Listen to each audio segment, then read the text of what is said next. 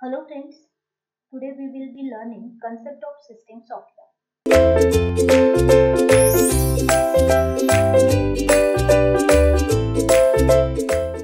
Before learning the concept of system software, we must know what is meant by the software. So, the software is nothing but it is a set of instruction or the collection of instruction that enable the user to interact with the computer its hardware or to perform the task. So it is nothing but it is working for the single outcome. So many programs functioning whenever the many different types of that programs are functioning together to perform any task is called as a software. For example, word processing software which is enable the user to create the new different types of the documents, to edit that documents and to save that documents. A web browser enables the user to view or to share the web pages and multimedia files. There are the following categories of the software. System software, application software and utility software. System softwares are useful for the system functions. Application software are useful for the particular application and utility software are useful for supporting or for providing security to that of the application or the system software. So the system software distribution or the categorization is shown in the figure. Software is divided into the three criteria. System software, for example, Windows. Application software, for example, MS Word or the Photoshop. Utility software, for example, antivirus. Under the system software, there are the three criteria First one is the operating system, second one is the language processor, third one is the device driver. System software. System softwares are required to run the hardware part of the computer and the other application software are called as the system software.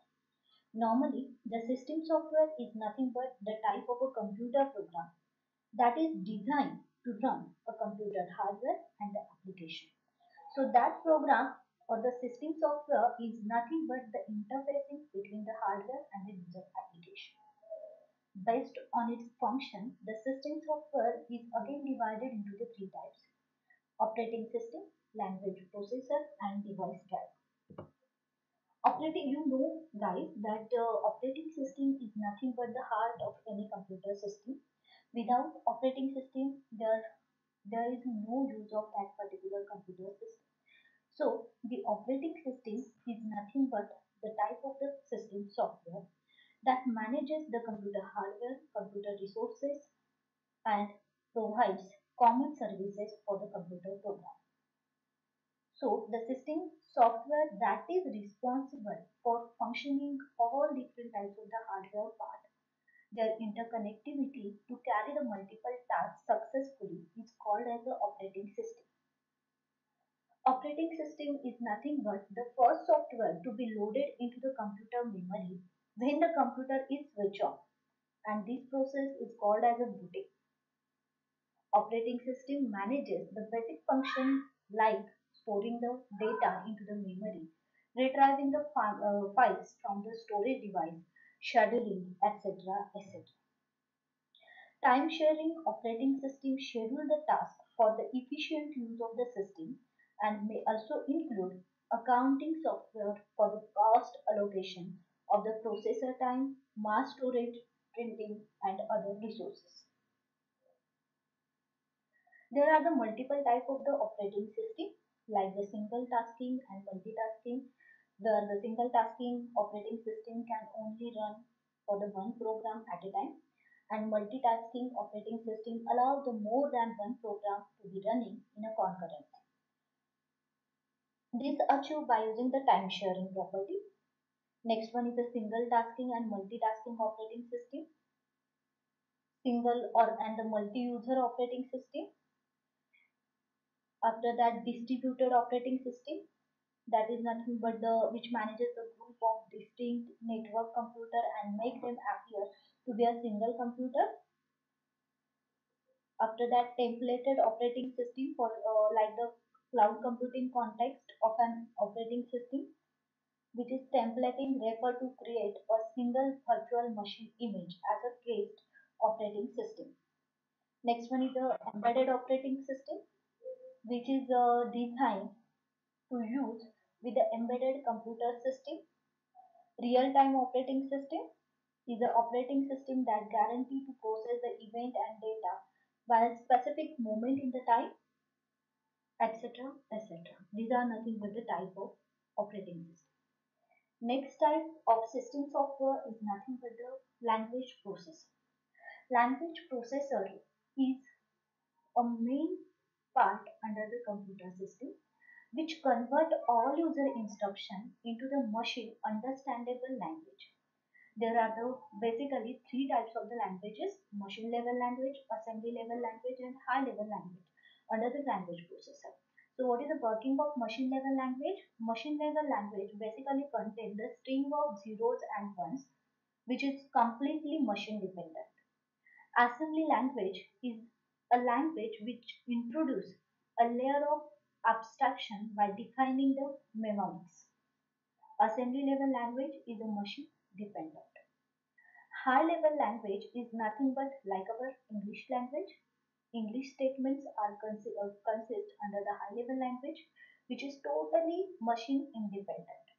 So the program written into the high level language are easily to create and read and understand to the system is a function of the high level language.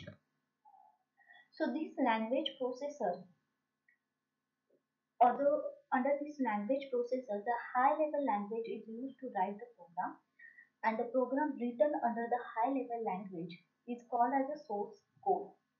So that set of instruction which is under the machine readable format is called as a object code or the machine code. So first of all we have to write the program into the source code that is nothing but the in, in a high level language then that code will be converted into the machine readable format by uh, then it is called as an object code or the machine code so this is nothing but the working of the system software. System software that converts the source code to the object code is called as a function of or is called as a language processor. So for that processing, there are the three language interpreters are used. Assembler, interpreter and compilers.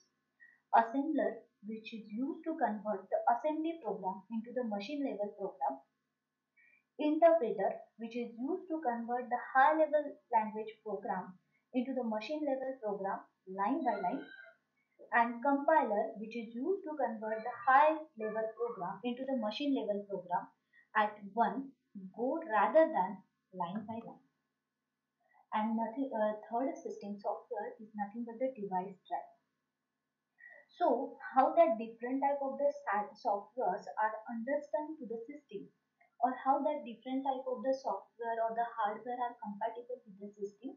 To that compatibility, we have to use the device driver. So under the system software that controls and monitors functioning of a specific device on a computer is called as a device driver. Like the printer, for the printer, scanner, microphone, speakers, etc for all that hardware device or the external device, we need to install the device driver first and then we have to use that particular device on that system. When you attach a new device, you need to install its driver so that the operating system knows how it needs to be managed. After that, initially we see the system software. It contains the three types operating system, language processor and device driver. After that, the second type of software is nothing but the application software. So what is the use of that application software? A software that performs a single task and nothing else is called as an application software. And that application software are very specific to their function or for solving the particular type of the program. For example, spreadsheet, word processing, presentation. So the word processing is only useful for creating the document, processing the document. spreadsheet is only useful for creating the spreadsheet. Presentations are only useful for creating the presentation. So this is nothing but all that softwares are application specific. Only perform that particular application, hence it is called as the application software. Third one is nothing but a utility software. So the application software that exist system software in doing their work is called as a utility software. So that software is maybe a supporting software to the application software. Thus, the utility software is actually a cross between the system software and the application software. And the examples of a utility software is like the antivirus software, disk management tool, file management tool, compression tools, backup tools, etc. etc. So normally the system software concept is like this. Under this concept, the system software is work as an interface between the hardware and application software. Hardware which contain the CPU, disk, mouse, printer, etc. System softwares are nothing but the operating systems or the utilities and on an external layer application softwares are work. That is nothing but the computer games, spreadsheet, word processor, database, internet browser, etc. etc. So please refer this diagram for the system software. So now the one question is arise during this is nothing but what is the role of system software? What is the use of system software or why this system software is important? Is nothing but it provides the interfacing between the hardware and the user. How the user can use that particular hardware. For that we require the system software. For example, let us see this diagram. Under this diagram, the interface A is nothing but the interface between the user and the system software. Interface B is nothing but the interface between the system software and the hardware. So the interface between the user and the system software is nothing but the virtual machine. So visually we can connect to the system software. Then the system software is directly actual machine inter through the actual machine inter the interface it can connect to the hardware. And all that is nothing but a virtual machine. So how the user will interact with the computer system that user must be interact with the computer system by using the system software. System softwares are of the three types like system uh, operating system, after that device drivers and another. So in this way the interfacing between the user and the system software is takes place. So type of the system software. Now the different types of the system software is nothing but first system software is used to control the program that is system control program. System, second one is the system support program and third one is the system development program. System control program is used to control all processing under the system like it control the execution of program, it manage the storage and processing resources of a computer and perform the other management and monitoring function and all these are performed by using the operating system. The, nothing but the example of the system control program. System support program is nothing but the part which is supporting that particular system to perform their program. So for that, it provides the routine service function to the other computer program and computer user. For example, the utility program and system development program in which we actually create particular things or particular tasks. The assist the creation of the publication program is called as a system development program. For example, language translator like the interpreter, compiler, assembler, etc. etc. So these are nothing but the main type of the system software. Now, system control program is like this under which we have to use the operating system which is integrated set of the specialized program that are used to manage the overall resources and the application of the computer.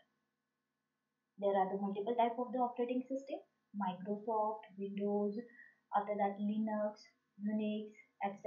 etc. So operating system having the uh, categories like the language services, memory managers, information managers, schedulers, utilities, languages services contain the interpreter, assembler and compilers. Memory managers contain the loader, garbage collection and linkers. Information manager contain the file system, database system. Scheduler is useful for scheduling that all processes. Utilities are useful for the text editors, graphic routines, etc. etc.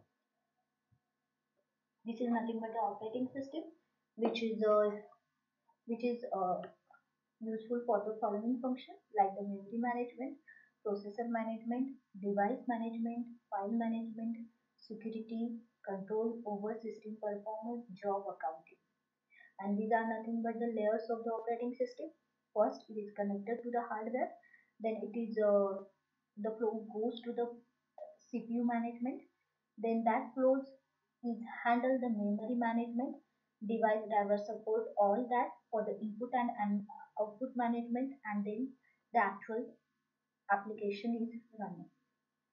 System support programs that contain the utility program which help the system to perform their task.